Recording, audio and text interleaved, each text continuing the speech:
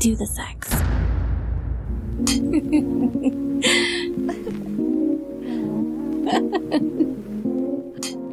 Locker Room Talkin' Shots listeners and She Explores Life readers enjoy steep exclusive discounts on products from some of the biggest brands in the sexual health and wellness industry when you use my special codes. You receive 20% off all Fun Factory products when you use my special code SELS20. And you receive 15% off revolutionary brands Womanizer, We Vibe, and Love Honey when you use my special code EXPLORES15 and you receive a whopping 30% off all Velvet brands. That includes the Thruster, Lacier, and voila, when you use my special code EXPLORES30. But that's not all.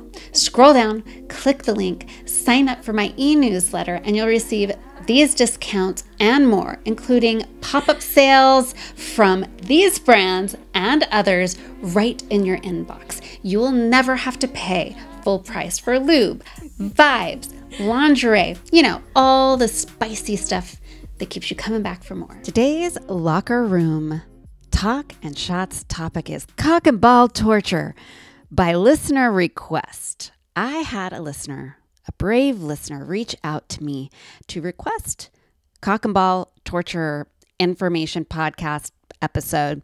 And so, listen, guys, you can scroll down to the description of this podcast. You will find a link to a voicemail where you can send me your questions and I will do episodes by request or I'll get your your questions answered.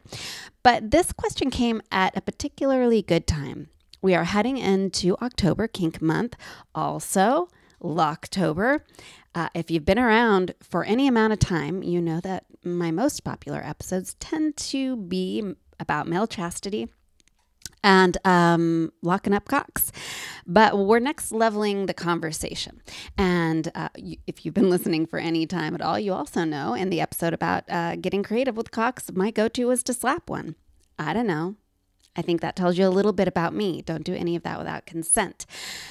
But yeah, I am not qualified to talk to you about cock and ball torture, but this is pretty exciting. I have someone here who definitely, definitely is is qualified to walk us through, uh, you know, torturing cocks and balls, which I'm kind of shockingly surprised about. So, my guest today is Lisa Finn. She is a Brooklyn based sex educator for Babeland and sibling store Good Vibes. She has been featured in publications such as the New York Times, Huffington Post, Cosmo, that's where I found you, Forbes, GQ, and many more. And she's led dozens of workshops everywhere from Ivy Leagues to uh, to nightclubs. Finn absolutely loves helping first timers to feel unashamed to explore their curiosities, especially in kink. And she laces humor into education as a reminder that pleasure should always be fun. And we talk about that a lot on this podcast. Uh, but before I go any further, uh, Lisa, will you take a moment to introduce yourself to my listeners? Absolutely. Hi, everyone. I am so stoked to be here. So stoked to be talking about some CBT, uh, not, you know, cognitive behavioral therapy. Um, but uh, I have been working as a sex educator with Babeland now for um, over seven years. Uh, I also work with their sibling company, Good Vibrations. Uh, so if you're out in San Francisco, Good Vibes has been around since 1977, which is wild. Love that. Uh, Babeland is also celebrating our 30th anniversary this month, actually.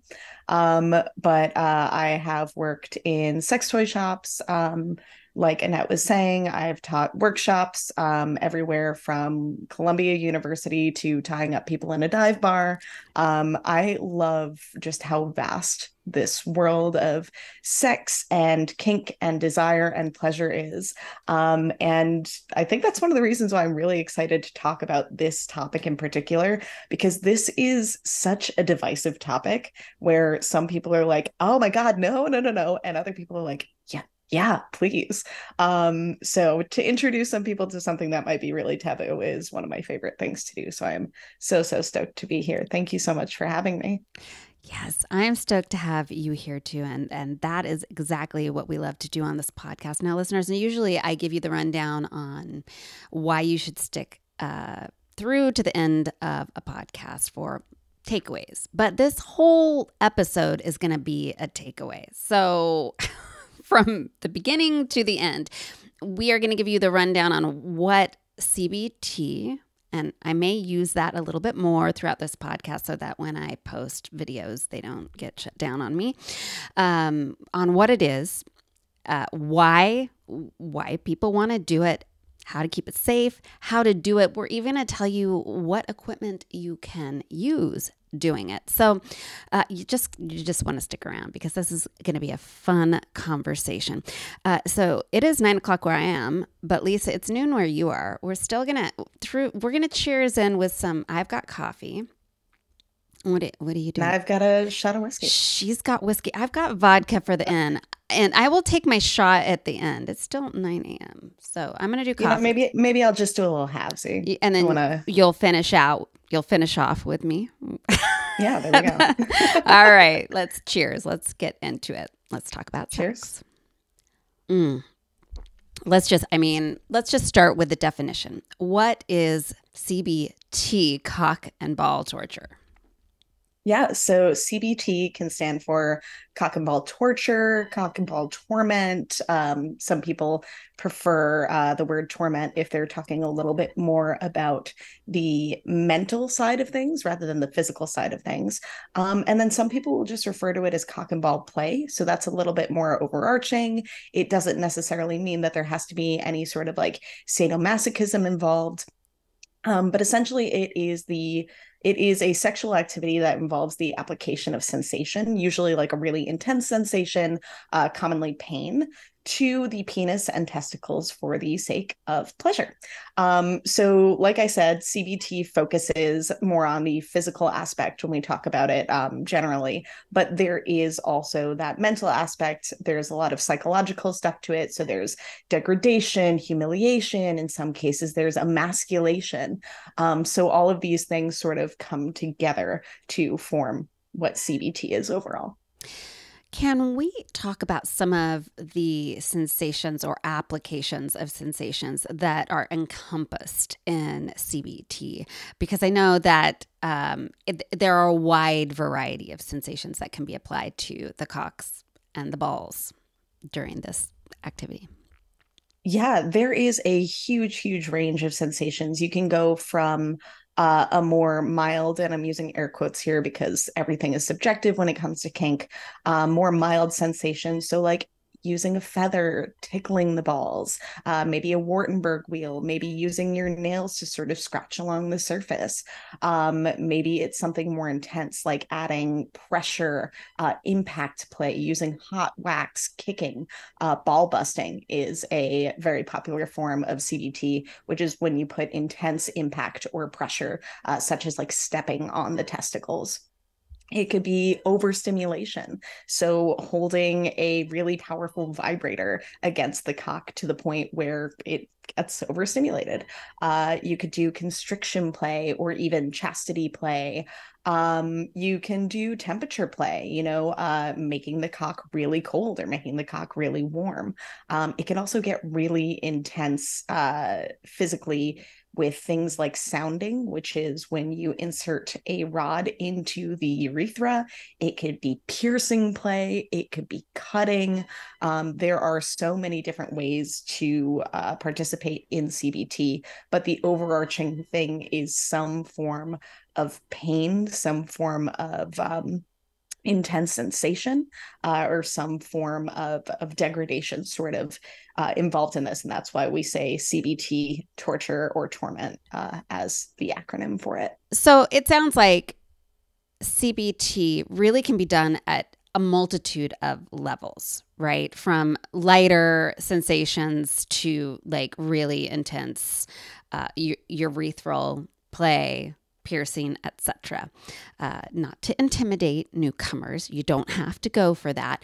Uh, to be clear, it doesn't always include humiliation, it doesn't always include male chastity, but it's sort of like a choose your own adventure. Is that correct? Absolutely. I mean, your CBT can be something as simple as I like to wear really, really tight underwear because I like that sensation of like feeling really compressed, feeling a lot of pressure. It could be, I like the idea of someone threatening my cock, not actually doing anything to it. That could be a form of it. Um, this the scope is so so vast and so broad that whatever made you want to listen to this today, whatever sort of inspired you, it probably falls under the umbrella of CBT. I like the idea of threatening a cock. I mean, this is a whole new. like I never even thought about threatening. I'm totally thinking about threatening cocks right now. Oh yeah. All right. Well, just found a new kink that I have. Uh, so the next question I have for you is why would a man or a penis and cock and ball mm-hmm. owner uh, want to do this? What is the draw? Yeah. So when we're talking about the physical sensations, um, any sort of intense sensation is going to give you that endorphin rush, that adrenaline rush, um, especially when paired with arousal. Uh, all of these sensations are going to feel even more intense. Uh, you know, there's that pain for pleasure sort of situation that definitely holds hands here with uh, sadomasochism. Um, also, it's super taboo. Uh, so, you know, the idea of liking getting hit in the balls, the idea of liking someone telling you that you're a tiny penis man, whatever it is that's getting you off, um, that's taboo. You know, a lot of people feel, uh, might feel a sense of shame around it, but that's what makes it hot for them. It's that nice little horseshoe of shame coming back around into empowerment. Um, for some people, like we were saying, the degradation, uh, liking someone being cruel to them in this aspect, liking the power dynamic of submitting or having someone uh, sort of take that control over you. Um, for some folks, it could be an emasculation thing or a sissification thing. Or on the other end of it, it could be an adoration of masculinity, right? How much can you handle? How much can you take? How strong is your cock? How strong are your balls? Um, so again, that big spectrum there. Uh, there could be sort of like a predatory sense to it, right? Uh, the idea of feeling helpless, this idea, idea of having something that is so intimate, something that is so delicate in somebody else's hands, maybe you know, uh, actually physically in their hands. Um, and sort of playing with the idea of this being something that is a, a, delicate part of the body. And so the risk that comes with it as well. All right. That makes sense to me. I mean, I'm in.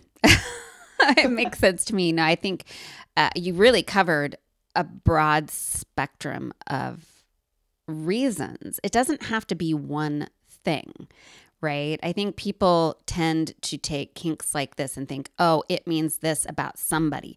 But there can be just so many things. It can be empowering, it can be uh, letting go of control. There's just a lot of things that can draw somebody to it. So I think an obvious question is Is CBT safe? It is if you do it correctly. Um, so there are a lot of safety things to consider, but the first and foremost is going to be that consent, right? Um, so there is an acronym called RACK, which stands for Risk Aware Consensual Kink, um, because CBT has so many uh, physical aspects to it again depending on what you're doing. If you're tickling somebody this may be on a much gentler side of the risk um, but you know if you're sounding or piercing somebody uh, that can have a very high risk so you want to make sure that you're going through the scene negotiation you're talking about uh, what everybody's expectations are and levels are, especially because this topic has so many things that it could encompass. Uh, you're going to want to discuss aftercare as well. That's going to be really important, um, not only for the dynamic between you and your partner, but also for you know physical relief making sure that you're taking care of your body afterwards uh, you know do you need to ice it? Do you need to take some time uh, to prevent any injury that you didn't want to happen? Um, with this sort of uh, realm of consent as well, um, talking about what it's going to look like for your partner to react So um, for some folks, the yelping, the whimpering, the the screaming, the crying, the whining, that's part of it. That's their reaction to this and that's something that they want to have as a reaction um, but for some people that could be the flag of oh no we've gone too far so you want to go ahead and discuss that beforehand. Um, cbt is something that really really needs safe words uh, or safe actions if the person has the ability to go uh, or the potential rather to go nonverbal. Um, so like holding a squeaky toy, uh, a ring of keys that they could throw, tapping somebody out like they're wrestling, um, and the top is responsible for this too, checking in, maybe asking colors if you want to do color safe words. So, like, um, hey, what's your color? Red, stop, yellow, slow down, green, this feels great, keep going.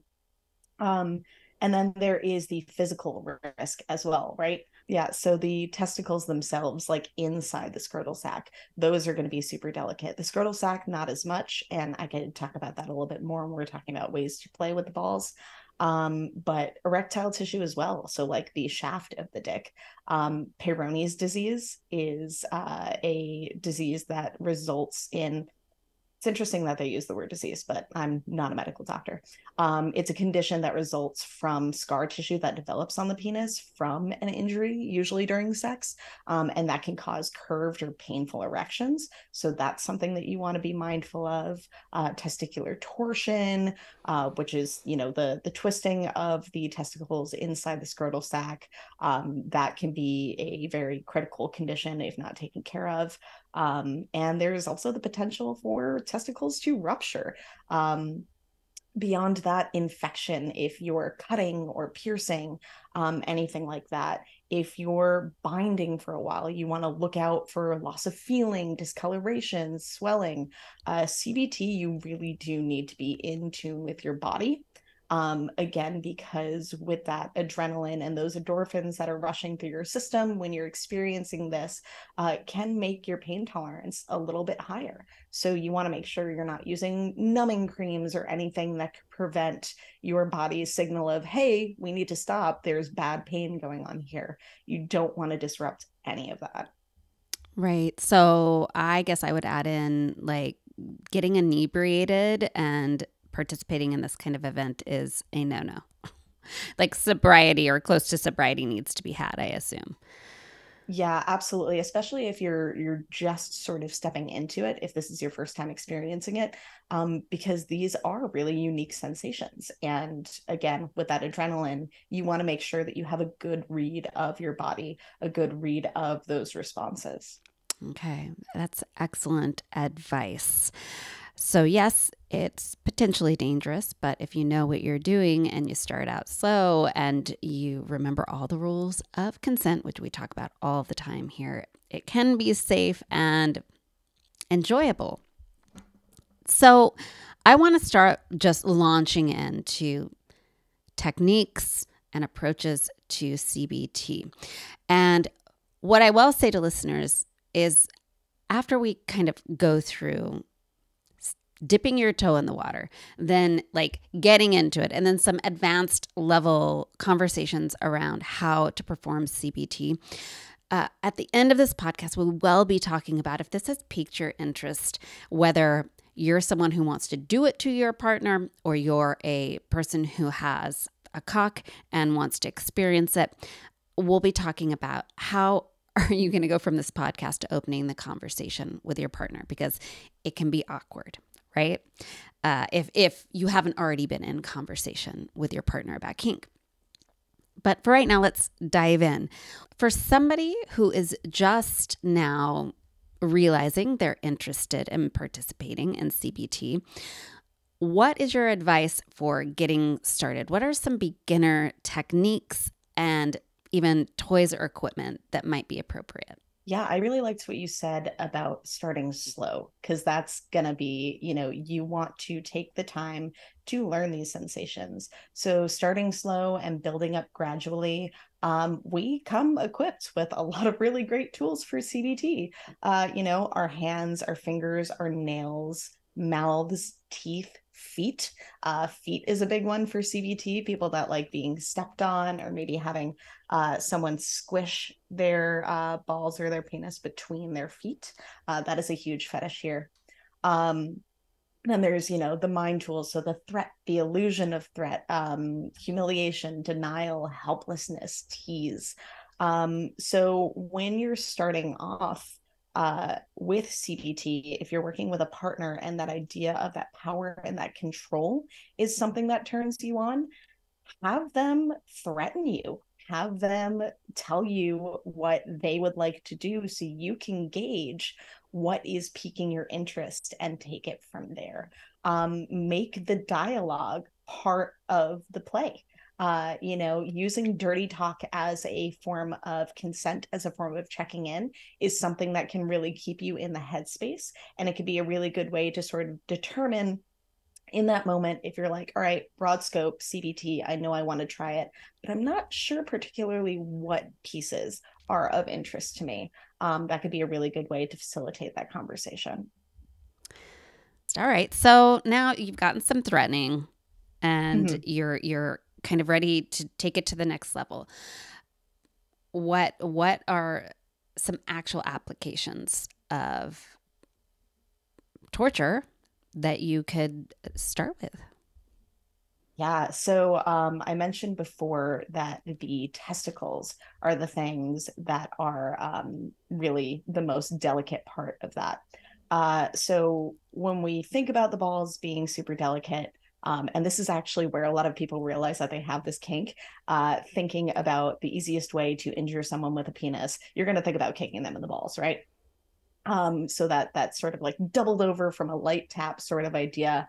Um, the nerve endings that go from the testicular area go like all the way deep into the groin. So that is a pain that resonates really deep inside the body. The scrotal skin, however, is very akin to the skin of the inner labia. Um, so if you want to put pressure on it, say you're going to use like the pads of your fingers, you can really like squeeze. And actually, um, I know we're both wearing headphones, but the earlobe is also a really good way to sort of like touch and feel this sensation. Uh, so if you're listening and you want to sort of like pinch your earlobe with flat fingers, you could put like a lot, a lot of pressure on it and you're going to be able to feel it, but it's not going to be painful. But if you go ahead and use your nails or if you use your teeth, you're going to be able to feel that. So playing with pinching, playing with pressure, um, starting off on that scrotal skin and seeing how it feels tugging the feeling of having weight tugging against the body is something that's super popular in CBT. Um, and then uh, extreme pressure. So maybe giving somebody a hand job and really beginning to squeeze down on it as you go. Um, again, adding pressure a little bit at a time so that you can sort of like gauge how it feels. Um, pulling sensations, pinching sensations. And then from there, realizing like, oh, okay, the thing that I really liked that you did was that compression. I really liked that sensation of like having my cock squished or the pinching. Um, I really liked that sensation of something sharp on me. The pulling, I really like the sensation of that weight. We could do all these things with our hands and our mouths to decide from there where we want to take it. Um, slapping is also uh, a really popular way to get started. It um, is. Again, spanking tools um, right here on the ends of our arms. Uh, but you can also use uh, other impact play tools. So uh, I have in my hands, uh, it's called the Motivator crop, and the end of this crop is longer and thinner than most riding crops. Uh, it is not quite a um, a cane or a switch, but because the tip is thinner, you're going to get a more um, precise hit. Uh, so that could be really good for playing with the cock and balls because it is, um, you know, in comparison to other places where you may spank on the body, it is a smaller area. Uh, so having something that's more confined, you'll really be able to target where on the cock or the balls you're hitting. Um, also, this is made out of leather, so it's got a really good sting to it, even if you only hit lightly. Um, and for a lot of people, the sound as well is something that's really hot. So this actually has two pieces of leather that slap together. So I'm not even hitting my hand that hard, but it's making a nice loud noise. Um, so using a crop, starting slow, sort of like tapping just gently and then building up. So uh, you can tease your partner with this, threatening them just by the look of the crop, maybe you give it a couple of swings in your hand first to get that anticipation going before actually bringing it down on them. Uh, you can switch up, make a little pattern like light, light slap, light slap, not let them know when it is coming next. Again, building that anticipation.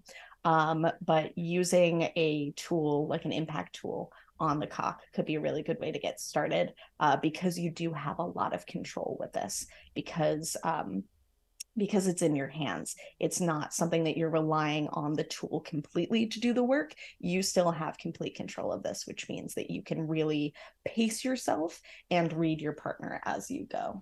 And you can go to YouTube, Annette Benedetti, my YouTube channel, and you can actually see all of the products she's going to be sharing with us so that you can have that visual piece. We will do our best for just listeners to describe them, but you're going to want to run over and see these tools, I will also make sure you guys have a full list of where to get the tools in a follow up article.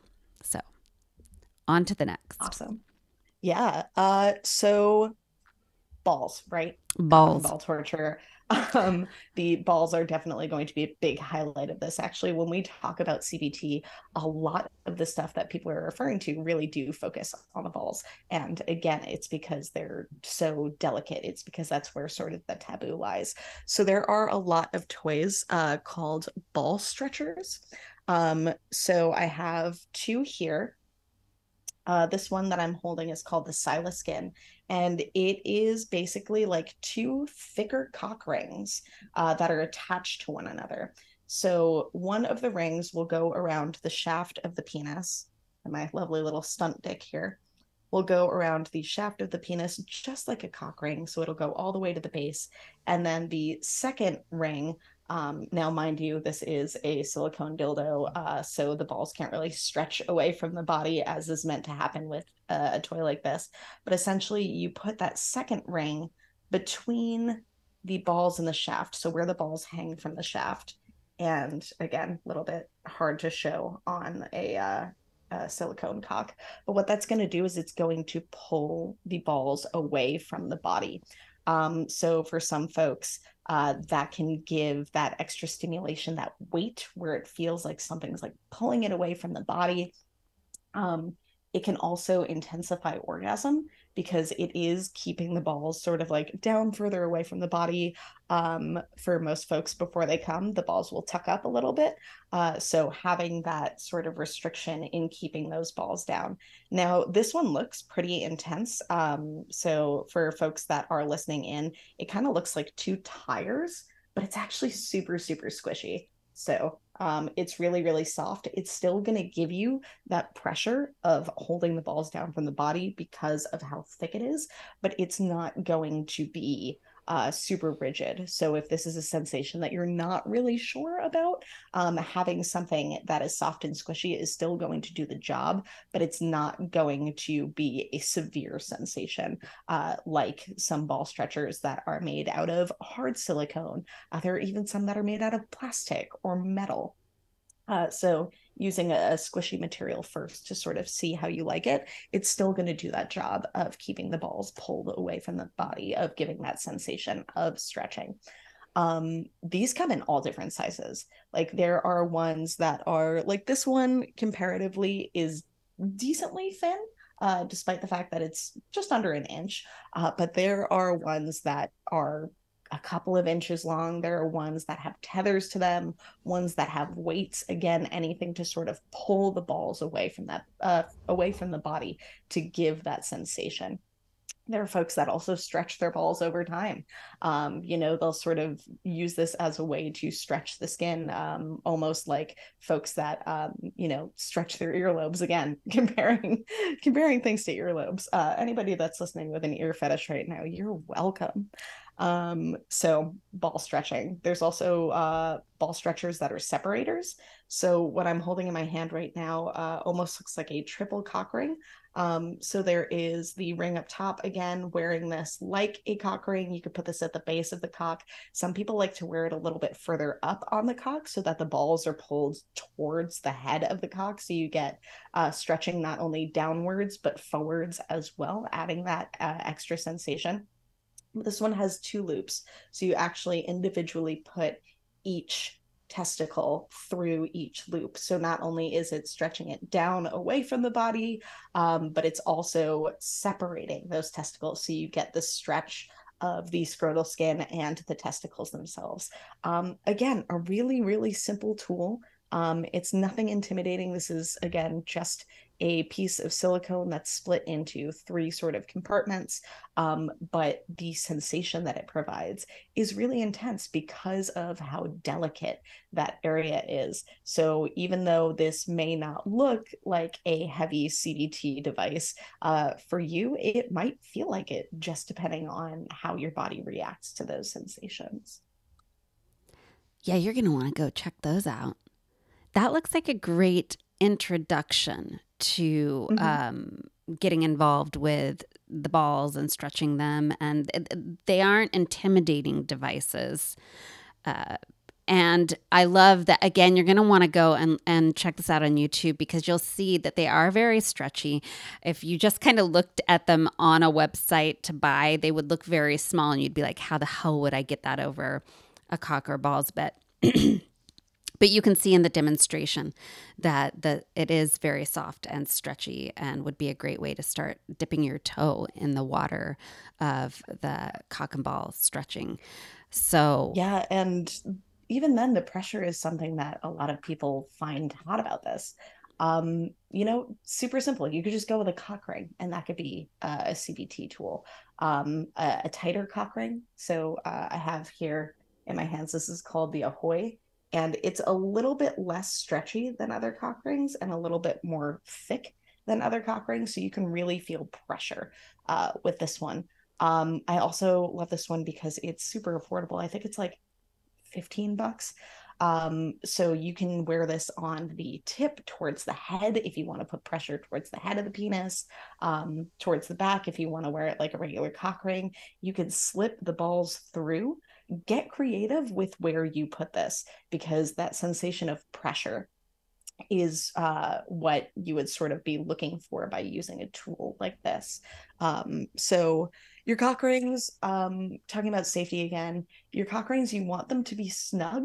Um, you know, even if we're not talking about CBT, you want your cock ring to be snug so that it works, so that it helps trap that blood flow. Um, but you don't want it to cut off the circulation even if you are playing with CBT, you do not want to cut off the circulation to your dick, um, especially not for prolonged periods of time. Uh, so, keeping in mind, snug, tight, even, but not cutting off your circulation. We want constriction, not destruction, if you will. Right. No, don't destroy it because you're going to want to torture it again. Right. Yeah, that would be like the uh, end all be all. It's like, oh, I like the idea of castration. Well, you do it once. That's it. It's all over. Right. So now you have the cock and ball stretched. What what comes next? Yeah, so from there you can uh like I said sort of like tug at it, add weight um or add sensation from there. So you've got yourself in these devices. Um, the balls are being pulled away from the body. So you already have that sensation. This is where you can add in other sensations on top of it. Um, the squeezing, the pressing, the using an impact toy, the adding in some hot wax. Um, if you want the psychological aspect of it, telling someone how they look in it, um, you know, whether we're incorporating praise here and being nice or we're getting degrading with it. Um, telling them maybe they have a degradation thing around the size of their penis. Uh, maybe they have a degradation thing about how their balls look. Um, using whatever language it is that is part of the dynamic that you've discussed beforehand. Um, wearing that for a prolonged period of time. Uh, again, if you have something that's softer, as long as it's not like cutting off any circulation, you can wear that for as long as you'd like. Um, that can be, uh, you know, um, and when I say that, I'm talking about one of the one of the softer ones. Uh, you don't want to keep yourself in a um, a tight cock ring for longer than like, I'd say 20 minutes at a time. If you're starting off even shorter, you want to make sure that you're being careful. Um, again, your genitals are sensitive, they are delicate. Um, but from there, you can incorporate uh, other types of sensation. Um, these can sort of be uh, accessories, if you will, if you just like sort of the aesthetic of it, or that could be the main course of your CBT is that ball stretching to it. What about a man who has had a vasectomy? Will that change how you treat the balls? Does it change the sensation or is it the same either way? So the sensation is very much so with all the nerve endings. Um, so you're still going to have all those nerve endings there uh, after a vasectomy, um, but you do want to be a little bit more cautious, especially if they've had the vasectomy more recently, um, because there are stitches in there that you don't want to undo. You don't want to put pressure on something that's healing. Um, but overall, the sensations, you'll still be able to feel everything. You'll still be able to um, experience this and enjoy this if it is for you. Okay. All right. So overall, it doesn't like take away from once healed, it doesn't take yes. away from the enjoyment of CBT. So moving into more intermediate, we've we've stretched the balls, we put the mm-hmm. the stretcher on, we've learned uh, maybe we've gotten the crop and and slapped the cock around a little bit, which sounds super fun.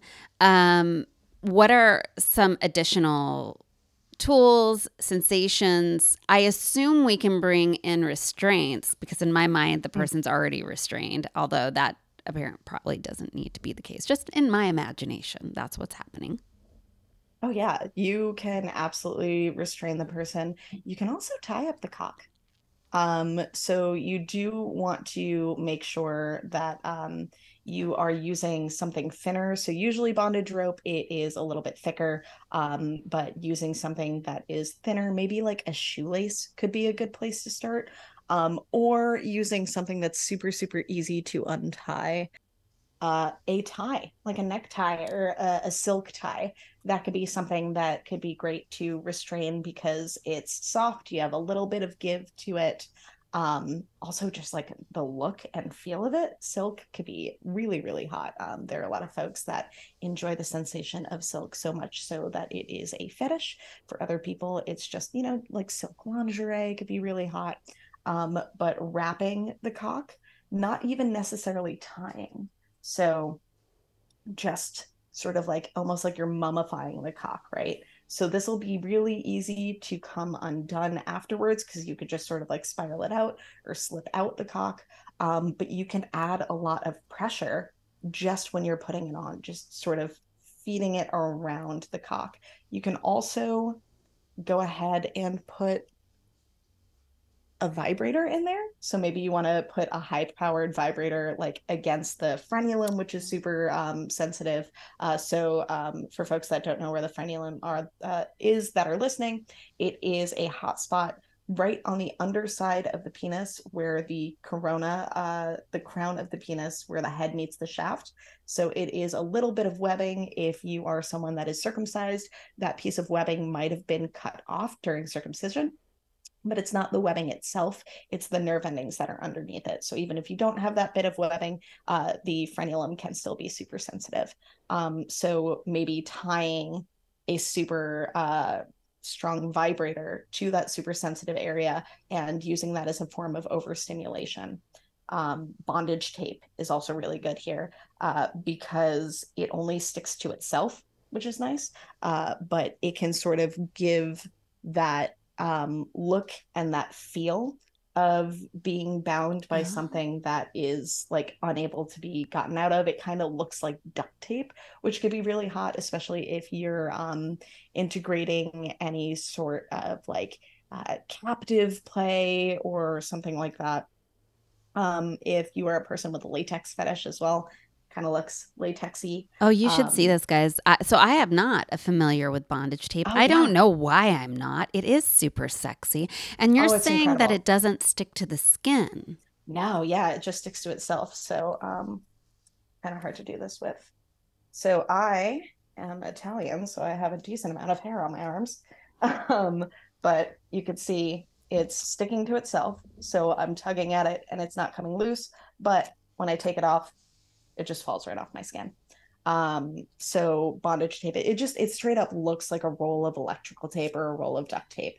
Um, but it is made out of a um, a type of PVC, uh, so it only adheres to itself, and you can reuse it, which is nice. You can see mine; I've uh, undone it and redone it a bunch of times, so it's a little little bit wrinkly, uh, but it still will stick to each other uh, to itself for however long you want. Um, I also really like bondage tape for anything because you can use it anywhere on the body. You can use it as a blindfold. You can use it for again sort of like wrapping somebody's entire body uh, you can use it as fetish wear um, i've worn bondage tape as like a bra almost to go to a party the only place that you don't want to put bondage tape is over your mouth because um, it, it can sort of get stuck there uh, almost like a plastic bag so you don't want to use that as a gag or um, a way to sort of suppress anybody's breathing. Uh, but yeah, bondage tape on a cock could be really good. Um, uh, especially if you are a little bit weary about getting it off. Uh, bondage tape is easy to rip. So uh, you can get out of that pretty quickly. Whereas if you are using rope, if you're tying knots, don't do a, a, square knot or a hitch knot or whatever fancy knots that you learned bondage on other parts of the body. Uh, just do like a grandma knot or like a, a, bunny ear knot, like you're tying your shoe uh, your shoelaces, so that you could get out of it very easily. Um, because you don't have the same ability, like with other parts of the body, to grab a pair of safety scissors and cut it off because um, you don't want to accidentally cut the cock, uh, especially if the person becomes flaccid. It's a whole big to do. So if you are playing with bondage on the cock and you don't have that experience yet, go for a silk tie. Uh, go for a shoelace and do a little uh, grandma knot that you can easily just like pull to get out of. Use some bondage tape. Do something that you could get out of pretty easily. Um, so yeah, uh, bondage on the cock, uh, on the balls as well. Again, wrapping them, putting that sensation of tightening them together. Uh, there's actually this as well. This is uh, this is called a bull bag.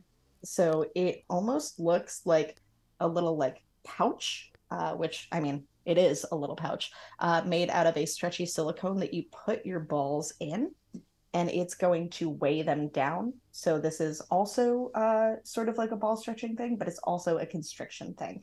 So you have your balls inside this, uh, and you can feel the pressure of the little pouch sort of holding in your balls together. Um, so that is a bull bag. That's hot. Yeah. That's new to me. Also, like I'm just like I thought I knew a lot and I don't know shit. That's what I'm realizing uh, right now.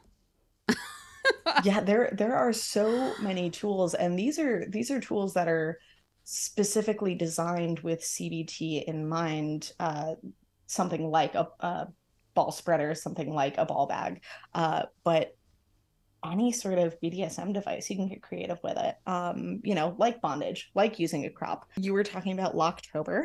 Um, a, another form would be a chastity cage. Um, so some people will argue that like chastity doesn't belong in CBT. Um, I will argue against them and say let people do what they want. but uh, with a chastity cage in the realm of CBT, we're talking about either um, taking something away from them. So, again, bringing it back into the more psychological aspect of it, as is wont to happen with chastity, or compression. So, uh, especially if someone gets an erection while they are in chastity, they're going to feel that pressure against the cock, against the balls. The one that I have here is made out of a silicone blend. So it's actually it's pretty squishy. Uh, so you do have room in this, but it is still going to keep the cock down. So uh, the one that I'm holding up is made out of silicone. It's got the little space for the balls to go through. It's also got a hole at the tip uh, for if someone is going to come, or maybe if you want to incorporate some urethral play as well. Um, but another reason why I like soft chastity cages is because you can still add more sensation outside of it. So uh, you can have somebody in this chastity cage and still put pressure against the cock. You can still slap it. You can put vibration against it, and they're going to be able to feel everything despite the fact that they're still having their erection held down, that they're still having that compressed. Chastity also, if we are using something that's not squishy, if we're using something that is made out of metal or a hard plastic, um, again, that compression is going to be part of that play. That's hot. So I will say one thing I've learned about myself is I love the look of a cock in a cock cage. It's like one mm-hmm. of just the hottest things that I've ever seen. I had no idea that I would find it. For me, it's like lingerie on a penis owning person.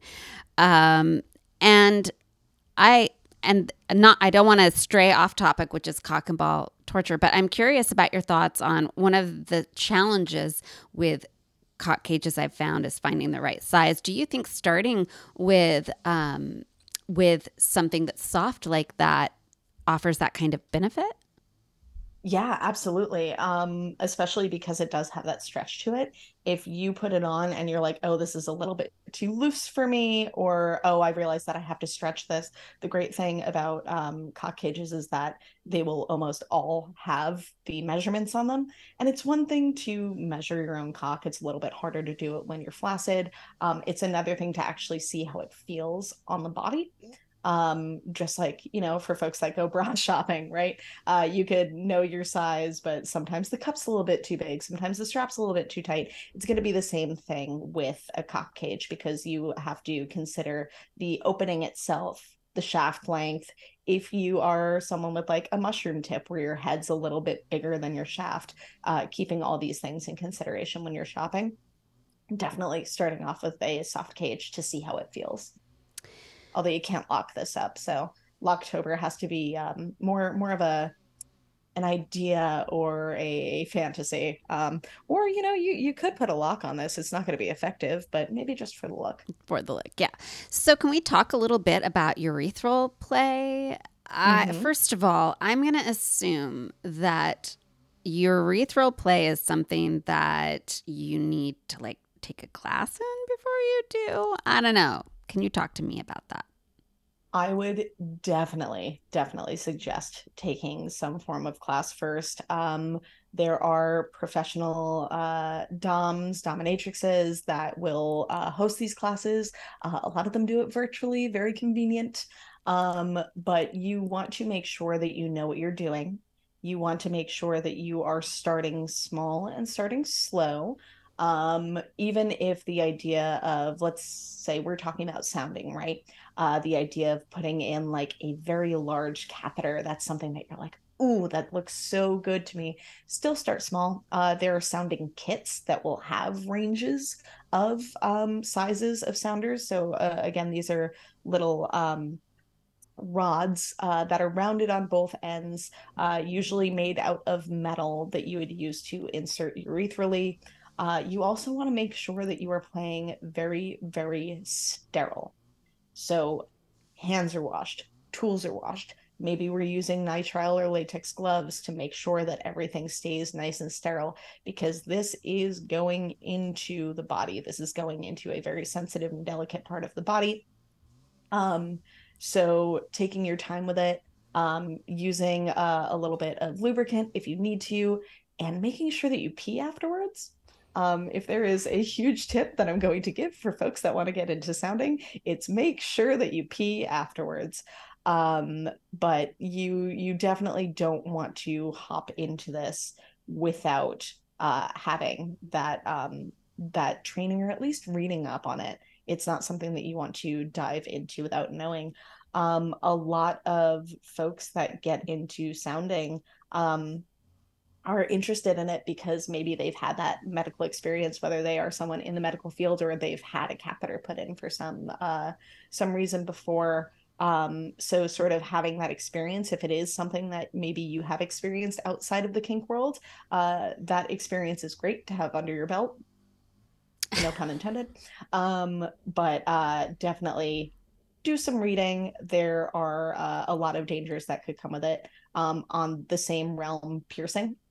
Uh, so piercing even more so because we're actually like uh, putting something through the skin. We're actually uh, doing something that could draw blood, uh, making sure really, really sterile. You know what you're doing. You're aware of where major nerve endings are. You're aware of where it needs to be placed on the body. Uh, these are all things that you should take your time with first. Um, and also, don't learn how to do these things when you're already like in the bedroom, things are already going. You want to take the time to do your research beforehand because if you are horny and you're just like, all right, gotta learn it now, you're probably not going to retain everything that you need to. Uh, do your prep, learn your stuff, prep your tools, make sure that everything is clean, sanitary, ready to go. Start slow, start small. Can we talk about somewhere between intro we're just stretching some balls and slapping them a little bit and piercing them. the in between, do you have any toys, products, approaches you would suggest for someone who's like, all right, I, I already know I'm into this and my partner is into it, but we've we've kind of just been doing one-on-one stuff and we want to up the level, but then what we see out there is people doing some crazy stuff and we're not ready for that. So the mm-hmm. in between thoughts, suggestions?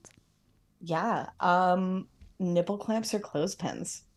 Uh that is something that is super popular. It has that like look to it as well.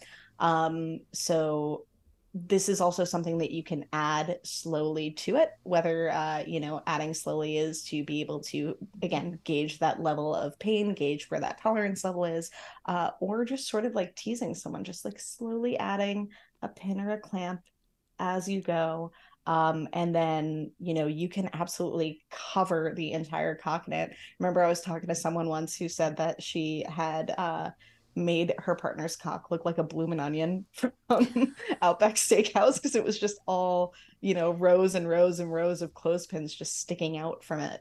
Um, so that could be a way to play with a more intense sensation. Wax play is another one, temperature play. So maybe like running an ice cube up and down the cock before um, adding another sort of sensation to it.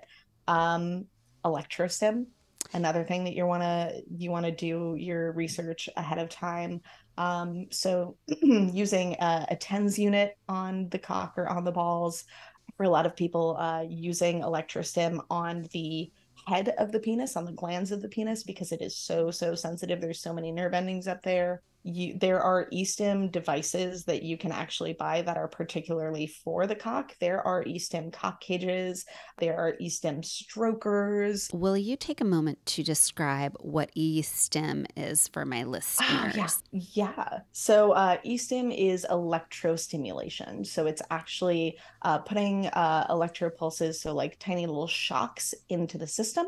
Um, so uh, the device that I referred to earlier, a TENS unit, um, it has these little uh, pads that conduct the electricity that they have the electricity go through. So you adhere these pads to the body.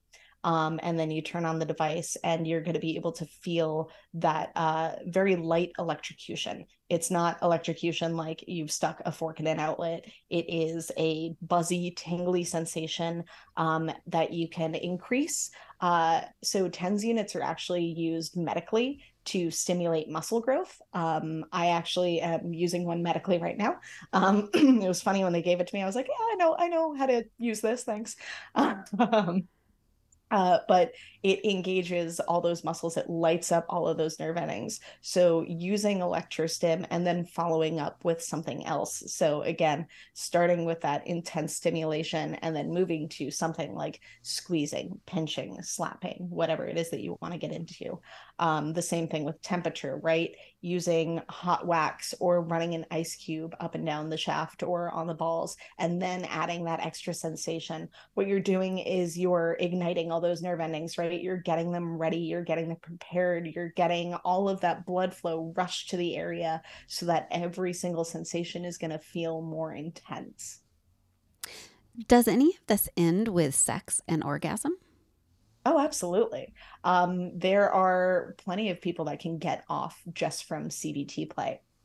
Um, now, mind you, uh, some CBT play does restrict erection uh, or could cause erection to just not happen, but you can still have an orgasm without an erection. Uh, but you can also use this as a form of foreplay for sure. Um, you can keep yourself in a, a, ball stretcher while having penetrative sex. You can be wearing a cock ring while having penetrative sex. Uh, you could be doing something to overstimulate yourself. So um, maybe having a partner use like a, a, powerful vibrator. So I'm holding up a Magic Wand Mini right now, holding a powerful vibrator against the perineum while you're doing other activities. Um, incorporating CBT with uh, a blow job or a hand job. Um, you can really use this at any point in your play. It could be the main course, it could be an appetizer, it could be the dessert. Um, but uh, again, with the understanding that some of these activities will restrict the ability for someone to get or maintain an erection. All right. All right. All right. Do you have any sort of final suggestions, comments, tidbits of information you want to give listeners who are here to find out about CBT? Yeah. Um, do not be afraid to get taboo with it as long as you're playing safely. Uh, you know, I have my box of tools over here, um, and I, I, just keep on looking at one of them that I didn't bring up, which is my own shoe. Um, you know, thinking about things like having somebody step on you. Um, so getting creative with it, understanding risks, uh, understanding that you know there there are going to be risks with a lot of different BDSM acts, especially if it's sadomasochism, because that pain for pleasure, pain is obviously our body's way of letting us know that something isn't right. Um, even you know if we're consenting to it, we want to know those those levels. But um, you know, whatever feels good and right for you. Um, you can still call it CBT if it's just someone, uh, you know, sort of scratching your shaft with their nails. Uh, for somebody, they may think like, "Oh no, that's that's vanilla as hell." If that feels like CBT to you, if that feels like that intense sensation, um, if it makes you feel like that's a form of torment or torture or that intense play, then that counts if you are someone that's doing urethral sounding while wearing a TENS unit, while having someone, you know, call you names, that's also CBT. Don't feel like these different ways to participate come in any sort of level. Wherever you feel good doing it, that's enough. Don't feel like you're, you know, not able to handle whatever, because it's not about that. It's about what makes you feel good. Do you have any favorite toys you want to share with us? Like your Ooh. your like faves? Um I love this one. So uh, what I'm holding right now is a bullet vibrator. Uh, this is the We-Vibe Tango X, and the reason why I love this one so much is because it could do so many different things. Um, I showed this before when I was uh, binding the cock and putting a really powerful vibrator against it. Um, using this uh, against the head of a penis, using this on a clitoris, using this on nipples. I think that everyone should have a good bullet vibrator in their artillery. Um, no matter what your kink, no matter what you're into, because you could get really creative with something this simple. So um, this is this is my uh, you know, top recommendation for someone that's just like, I just want a tool. This would be it. Well, that and lube, but right, lube. Always, always have lube.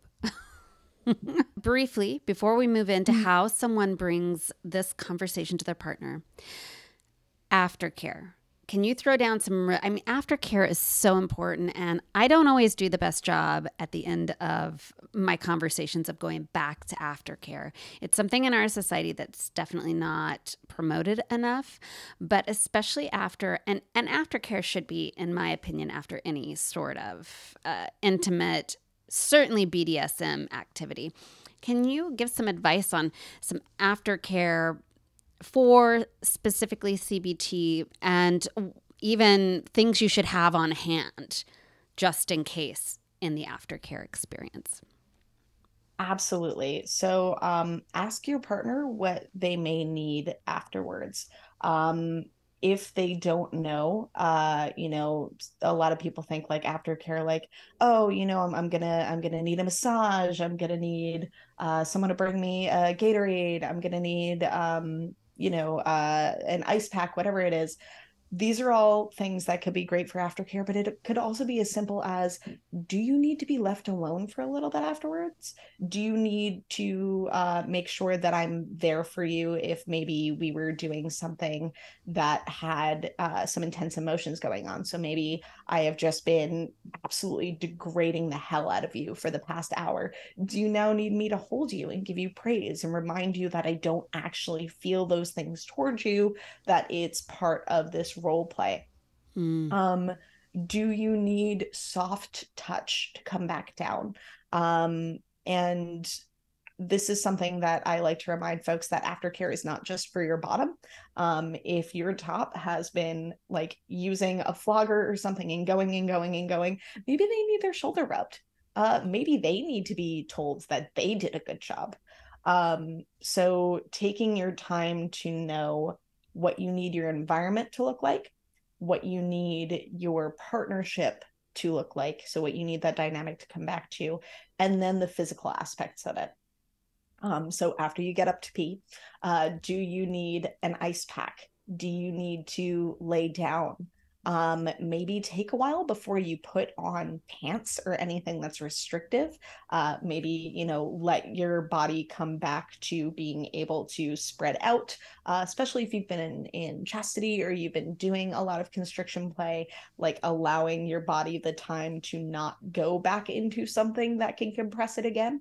Um, allowing yourself the time to make sure that any and all sensation is coming back the way that it should. Um, painkillers after a session. Again give yourself the time to make sure that you can feel everything. Um, don't take painkillers before a, se- a, session because we were talking about you want to make sure that your pain receptors are on that you could pay attention and listen to your body. Um, hydration as well uh, after we do something intense, especially with all that adrenaline and everything going through our system. Even if we were just laying there and taking it, um, keeping hydrated can be really important to make sure that our body is able to rebalance itself out. We're able to reground ourselves as well. What are some red flags or warning signs in your aftercare where you might be like, oh, m- perhaps this is perhaps something went too far. Maybe we should go see a doctor. Mm-hmm. Uh, discoloration. So, uh, looking out for discoloration, uh, looking out for not having sensation coming back right away. Um, if you were doing ball play in which both of the balls were getting the same amount of attention, but you're noticing unilateral pain, so you're only noticing pain on one side, of the balls, like only one testicle, that is something that could be a red flag because you may have experienced testicular torsion or you may have had a little bit too much compression on one. Um, if you notice uh, that there's any bleeding or bruising or anything like that, it happens, especially, you know, if you're doing any sort of cutting, piercing, impact play, um, but watching how those heal. So this is not just like, oh, okay, we're in the bed afterwards. I'm talking like a couple days down the line, watching how they heal, um, watching how you feel the next time that you get an erection. Um, you know, do you notice that there is pain that wasn't there before? Uh, so this is also a, a little bit of a long game. You want to make sure that you're paying attention to your body signs, not just right afterwards, but as you sort of continue on with your life. So, a good question is then is there a frequency with which this should be done? So, is it okay to do this every night or do you need to allow the body to heal in between? What are your thoughts on that? So there are people that will absolutely argue me argue with me on this, but if you are doing something that's a little bit more intense, if you are doing something uh, like uh, heavy restriction if you're doing something like sounding like impact play. Um, i always think that it's good to give yourself a little bit of a break um, you know to allow your body to come back down to it. It's like going to the gym right? You know it, you there are people that go to the gym for three hours a day um, but there are people that are like no you you need your rest day. You need your body to uh, have that moment to come back down to that whatever your your normal sort of existence is whatever your um plateau if you will uh, so there are people who will be like, no, I can go into chastity every single night and I can have my balls slapped every single night and I'm totally fine. Cool. That's you. You understand your risks. You know your body. Fantastic. If you are just getting into this, pace yourself. Re- rest day from the gym. Yeah, uh, time to recover and see how your body bounces back and what its healing mm-hmm. time is. It just makes sense uh, for me. And I would argue that people that don't take a rest day when they go to the gym are risking some serious injury. But yeah, you want to know that those muscles are healing correctly. You want to know that it's not two days down the line and I didn't notice that this one bruise hasn't gone away uh, in the way that it should because I just keep on getting new ones. So, right, right. Good advice. Now, for the listener who's like, I am ready to do this, I want to do this, but I haven't begun the conversation with my partner. And it's a hard one to bring up to someone, particularly if they're fairly vanilla. What are your thoughts on initiating the conversation around, honey, I'm ready for you to torture my balls? Or, like, so for instance, in my case, obviously I've discovered I'm kind of into some of the opposite end, slapping around some cocks. How do you start that conversation without totally freaking your partner out? Yeah. Um, so I love to sort of start with something that you know and see about adding to it.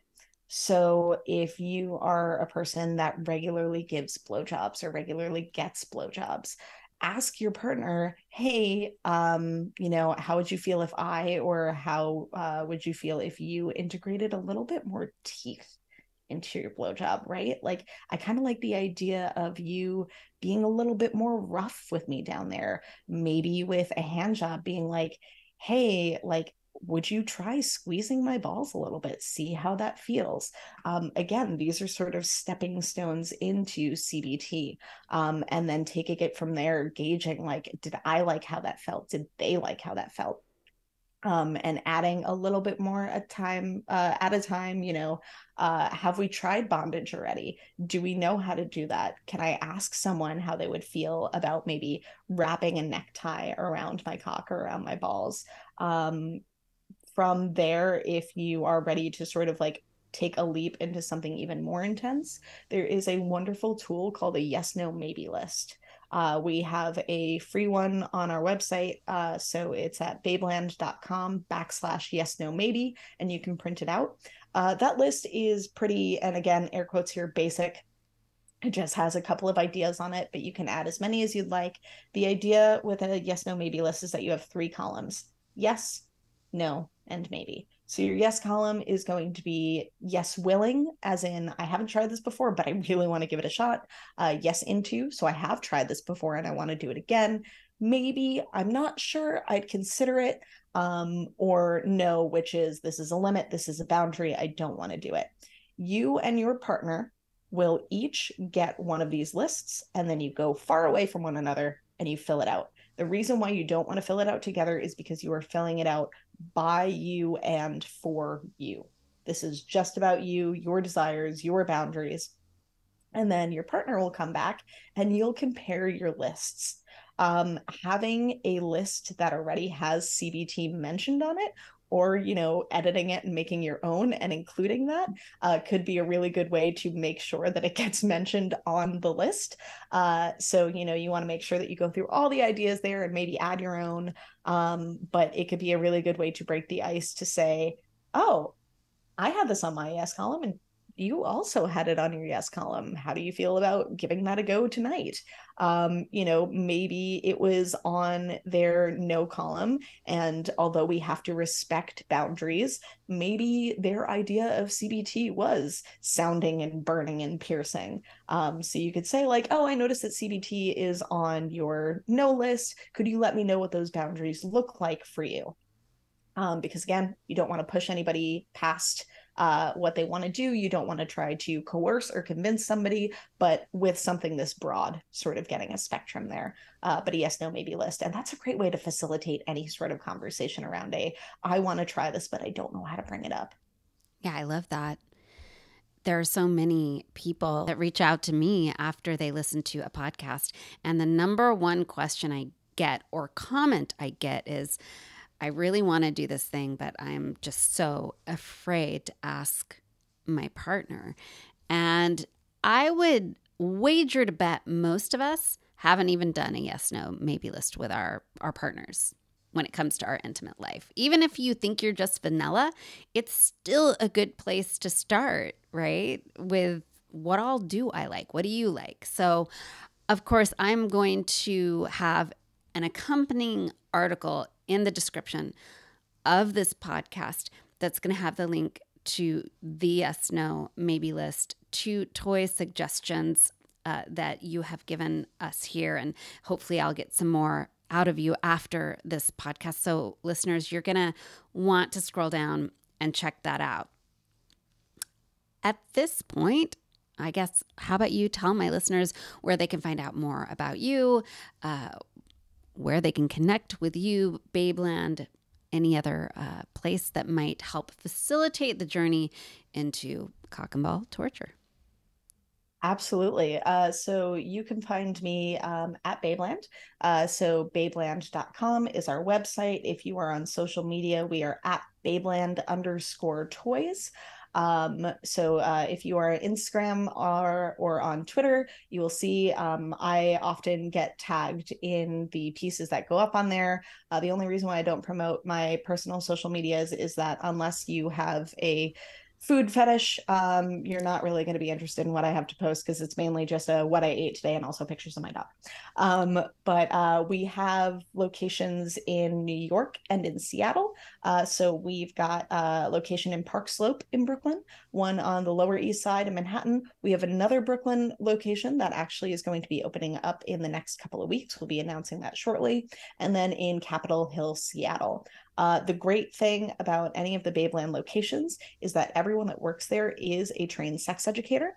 Um, with different topics, uh, like something like CBT, um, we have a lot of books as well. So even if there is, uh, you know, there there's not a staffer that can speak to this uh, on a level that you want to learn about, we do have those resources available for you.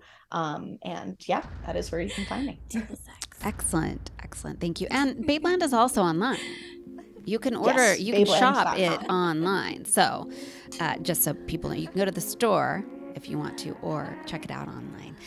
Well, thank you. I will for... say our website does have a lot more uh, of the cock and ball devices uh, available online. We have a whole cock and ball section. So there is a whole cock and ball section. I'm going to be checking it out. so Thank you for joining me. Uh, are you ready? I'm ready for my shot now. I've been drinking coffee and I'm Here's ready for half. some vodka. Here we go. Cheers. Right, well, cheers to CBT. And listeners, I'll see you in the locker room.